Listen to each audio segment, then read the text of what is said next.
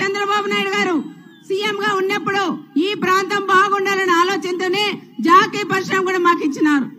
ఇస్తే పనులు కూడా స్టార్ట్ అయినాయి. ఈ ప్రభుత్వం వచ్చిన తర్వాత మెటీరియల్ కూడా దింపారు. తర్వాత ఎమ్మెల్యే బ్రదర్స్ కలిసి పదహైదు కోట్ల రూపాయలు డిమాండ్ చేయడం వల్లనే అది కూడా జాకీ కూడా వెళ్ళి మళ్ళా తెలంగాణకు కూడా వెళ్ళిపోయిన కూడా విషయం గుర్తుపెట్టుకోవాలని కూడా కోరుకుంటున్నాం. ఇది ఇరవై ఎనిమిది ఎకరాల స్థలం.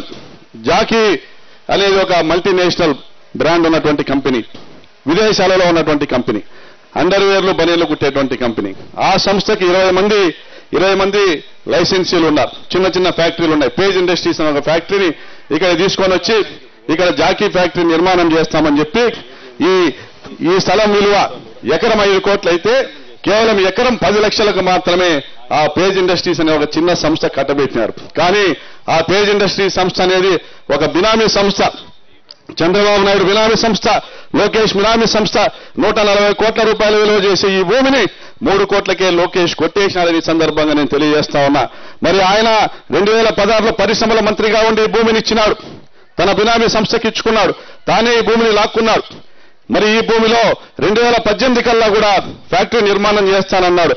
కానీ నిర్మాణం చేయలే. ఇలా చెప్పుకుని పోతే ఒక మహిళా సభ్యురాలతో పదివేల రూపాయలు ఈ ప్రభుత్వం వచ్చినాక ప్రకాష్ రెడ్డి కూడా ఒక్కొక్కరితో పదివేల రూపాయలు వసూలు చేసి దాదాపు పది కోట్ల రూపాయలు కూడా తీసుకున్నారు. ఆ పది కోట్ల రూపాయలతో రియల్ ఎస్టేట్ చేశారు. మహిళా తోపుదొట్టి మహిళా సంఘం అని పెడతానని చెప్పి ఇంతవరకు దాని అడ్రస్సే లేదు. పదివేల మంది మహిళలు పాడి రైతులు ఎవరికైతే ఆవులు ఉన్నాయో గేదెలు ఉన్నాయో రాప్తాడు నియోజకవర్గంలో వారందరికీ కూడా వారి పాలనన్నింటినీ కూడా సేకరిస్తాం. ఈరోజు హెరిటేజ్ సంస్థ చంద్రబాబు నాయుడు డైరీ తొంభైలో ఆయన డైరీ పెట్టినాడు హెరిటేజ్ డైరీ అప్పటి వరకు రాష్ట్రంలో సహకార డైరీలు ఉండేవి. అవన్నీ మూత వేయించినాడు మూత వేయించి ఆయన ఏం ధర చెప్తే ఆ ధరకే రైతులు పాలమ్మాల. ఇరవై రూపాయలు. రెండు వేల పంతొమ్మిది ఎన్నికల వరకు ఒక లీటర్ పాలకు ఇరవై రూపాయలు ఇచ్చింది ప్రభుత్వం. ఆ రోజు చంద్రబాబు నాయుడు కొనింది. తర్వాత ఎన్నికలైన తర్వాత జగనన్న వచ్చినాక అమూల్ని తీసుకొచ్చినాడు పోటీ పెట్టినాడు పోటీ పెడితే ఇరవై ఐదు రూపాయలు అయింది. ఇరవై ఆరు అయింది. ఇరవై ఏడు అయింది.